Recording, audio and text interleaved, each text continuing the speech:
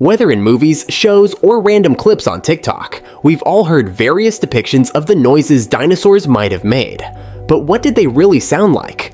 It's no surprise that most media forms don't accurately portray the sounds dinosaurs would have made. In the past, knowledge on this subject was limited, so you can't blame them too much. Even now, it's a topic of debate requiring further research. However, we've known for a while that the Jurassic Park franchise's depiction of dinosaurs is, well, very wrong. Recent discoveries suggest that dinosaurs didn't just roar loudly like in the movies. Instead, it's more likely that their sounds were similar to birds and reptiles, as they're all part of the Archosaur group. But it depends on the dinosaur. Larger dinosaurs like sauropods and theropods probably made noises that were a mix of crocodilian, elephant, and possibly whale sounds, a combination of low-frequency vocalizations. Tom Williamson, curator of paleontology at the Museum of Mexico, suggests these low frequencies could help penetrate the dense undergrowth of a forest. Let's look at some dinosaurs that sound more terrifying in real life than in movies. Tyrannosaurus rex. In Jurassic Park, they used a mix of baby elephant squeals, alligator gurgles, and tiger snarls for the T-Rex. However, recent research suggests the T-Rex likely produced low-pitched, closed-mouth rumbles. Documentaries like the BBC's The Real T-Rex with Chris Packham and studies by paleontologist Julia Clarke point to the T-Rex making lower frequency noises, possibly using a mix of emu, ostrich, and alligator sounds, sized up for an 8-ton creature. Imagine the unsettling power behind that sound, far more terrifying than the simple JP T-Rex roar.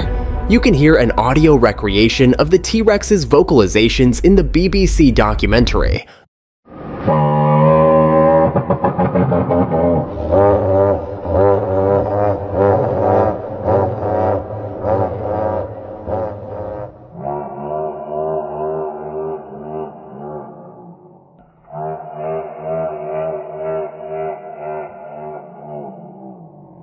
The Real T-Rex with Chris Packham. The T-Rex's vocalizations were likely adapted for long-distance communication, territorial displays, and intimidation. The low-frequency rumbles could have carried for miles, allowing T-Rexes to communicate with each other across vast distances. These sounds might have also been used during mating rituals, or to assert dominance over other dinosaurs. The sheer power and volume of the T-Rex's vocalizations would have been awe-inspiring and terrifying to witness in person. Parasaurolophus In 1995, a well-preserved Parasaurolophus skull was discovered. A CT scan allowed for a 3D model, and researchers emulated the sounds it would make if air passed through the passages in its prominent crest. The result was a hauntingly beautiful, almost melodic sound. However, this reconstruction doesn't consider potential soft tissue structures that could have influenced the airflow and sound. The Parasaurolophus's unique crest might have acted as a resonating chamber, amplifying its calls across long distances. This could have been used for communication, mating calls, or even to deter predators. You can listen to the Parasaurolophus Recreation by Sandia National Laboratories.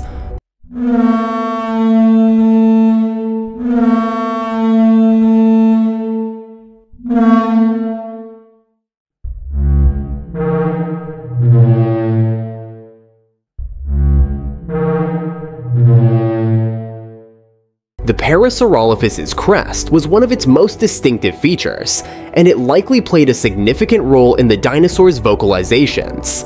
The shape and size of the crest might have allowed for a wide range of sounds, from low-frequency bellows to high-pitched whistles.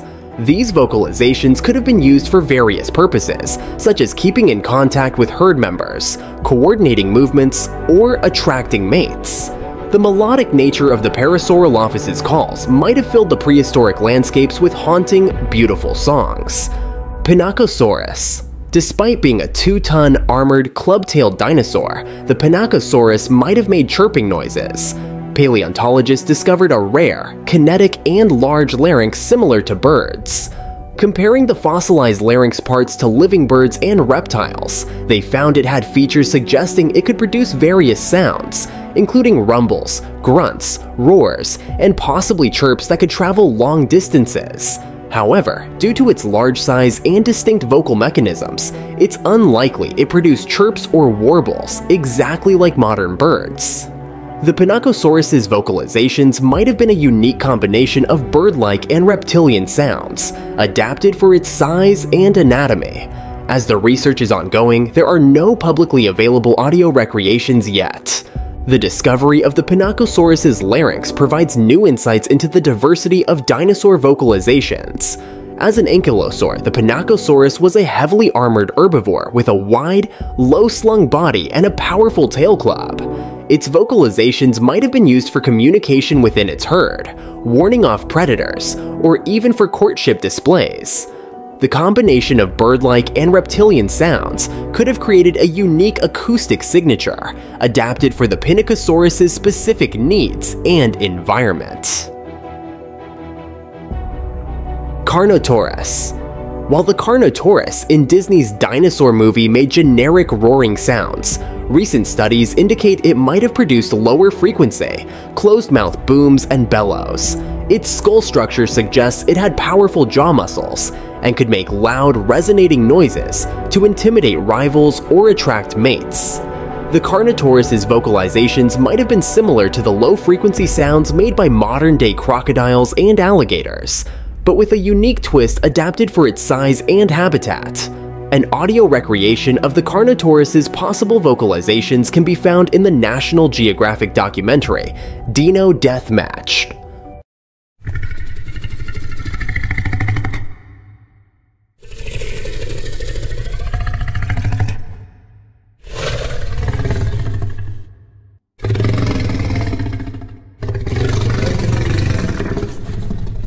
The Carnotaurus was a fearsome predator with a distinctive appearance, featuring two short, bull-like horns above its eyes, and a muscular, streamlined body. Its vocalizations were likely as intimidating as its physical presence.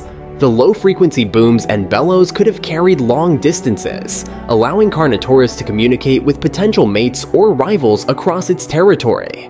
These sounds might have also been used during hunting, either to coordinate with other Carnotaurus or to frighten and disorient prey. Velociraptor. The velociraptors in Jurassic Park are depicted with hissing and screeching sounds.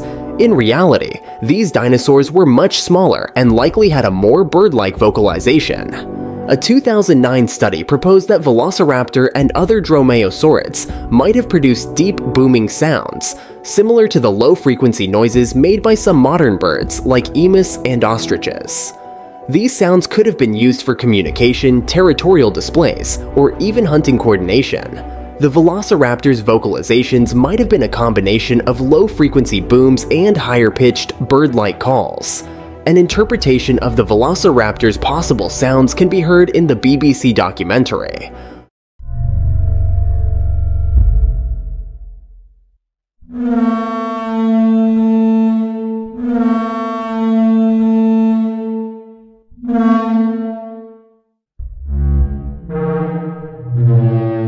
Velociraptors were highly intelligent, pack-hunting predators, and their vocalizations likely reflected this complex social behavior. The combination of low-frequency booms and higher-pitched calls could have allowed for a wide range of communication, from long-distance contact calls to close-range coordination during hunts. The Velociraptor's vocalizations might have also been used for territorial displays, or to reinforce social bonds within the pack. As we continue to discover more fossils and develop new technologies, our understanding of dinosaur vocalizations will keep evolving.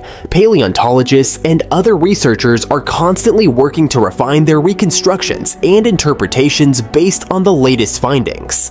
By studying the anatomy, behavior, and ecology of modern animals, as well as the fossilized remains of dinosaurs, we can make more informed guesses about how these ancient creatures might have sounded. It's fascinating to think about the diversity of vocalizations that existed in the prehistoric world, from the low-frequency rumbles of the T-Rex to the possibly melodic calls of the Parasaurolophus and the potential chirps of the Pinacosaurus. Dinosaurs likely had a wide range of sounds adapted for their specific needs and environments. The more we learn about dinosaur vocalizations, the more we can appreciate the complexity and diversity of these ancient creatures.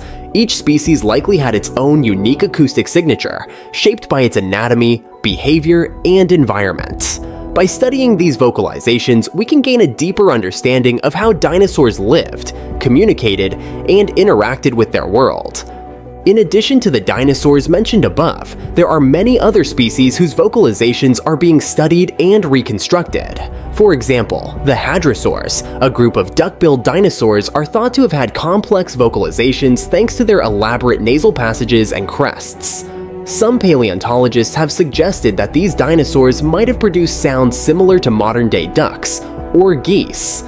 Another intriguing case is that of the sauropods, the massive, long-necked herbivores that included some of the largest land animals ever to exist. Due to their size and the structure of their necks, it's been proposed that sauropods might have produced infrasound, or extremely low-frequency sounds, which could have traveled for miles. These vocalizations could have been used for long-distance communication, mating calls, or even to ward off predators. As research into dinosaur vocalizations continues, we can expect to hear more fascinating audio recreations and interpretations. These sounds not only help us to better understand these long extinct creatures, but also to appreciate the incredible diversity and complexity of life in the prehistoric world. So, what do you think? Do you prefer the depictions in movies? Or the latest research suggesting a wide variety of noises, from deep frequencies to chirping? Let me know in the comments below. We've reached the end of the video, and I hope you all enjoyed it. As always, don't forget to like and subscribe, and I'll catch you in the next one. See you!